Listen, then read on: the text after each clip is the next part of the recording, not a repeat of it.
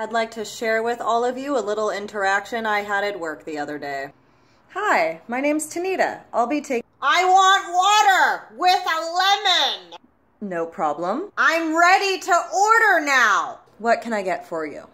Before we go any further, I am deathly allergic to mayonnaise and tomatoes.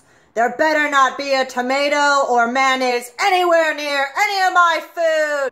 Absolutely. I want the house salad. What dressing would you like? Thousand Island. You want Thousand Island?